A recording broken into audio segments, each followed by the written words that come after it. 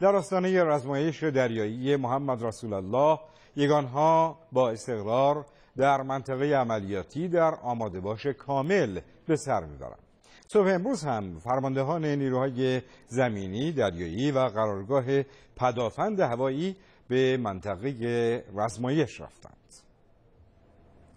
بسم الله الرحمن الرحیم رزمایش مشترک ارتش جمهوری اسلامی ایران با نام محمد رسول الله صلوات الله علیه از تاریخ چهار ده 93 به مدت هفت روز در منطقه گسترده دریا و زمین واقع در شمال اقیانوس هند از مدار ده درجه شمالی تا دریای عمان سواحل مکران و جنوب استانهای سیستان و بلوچستان و هرمزگان به اجرا در خواهد آمد.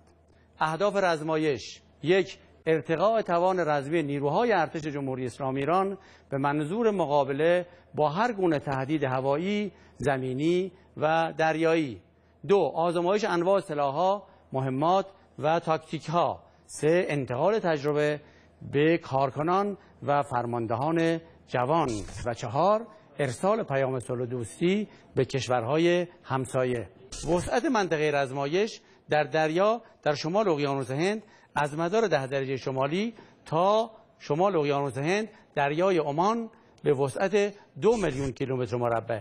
مراحل رزمایش. مرحله اول گسترش در زمین و دریا تا مدار ده درجه در قالب نیروهای دشمن و نیروهای خودی. مرحله درگیری تا قبل از اقدام عملی انهدام و سه پرتاب انواع موشک های زمین به زمین توسط نیروی زمینی هوا به سطح توسط نیروی هوایی زمین به هوا توسط قرارگاه پدافند هوایی ساحل به دریا و سطح به سطح توسط نیروی دریایی راهبردی ارتش جمهوری اسلامی ایران. پرتاب انواع اجدر مینریزی و مینروبی توسط زیردریایی ها ناوشکن ها و بارگردهای نیروی دریایی ارتش جمهوری اسلامی ایران.